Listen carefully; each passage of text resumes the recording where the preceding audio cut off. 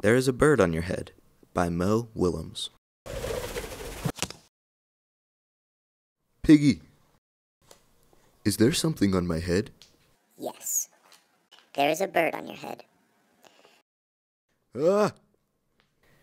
Is there a bird on my head now? No. Now there are two birds on your head. What are two birds doing on my head? They are in love. The birds on my head are in love? They are lovebirds. Lovebirds. How do you know they are lovebirds? They are making a nest. Two birds are making a nest on my head? Why would two birds make a nest on my head? I am afraid to ask. Do I have an egg on my head? One, two, three. You have three eggs on your head. I do not want three eggs on my head. Then I have good news. The eggs are gone? The eggs are hatching. Hatching. The eggs on my head are hatching?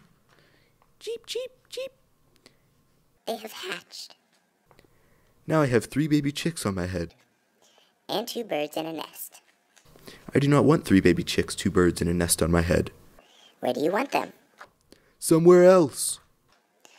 Why not ask them to go somewhere else? Ask them. Ask them. Okay, I will try asking.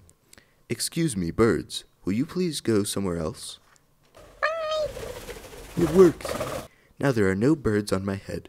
Thank you, Piggy. Thank you very much. You are welcome.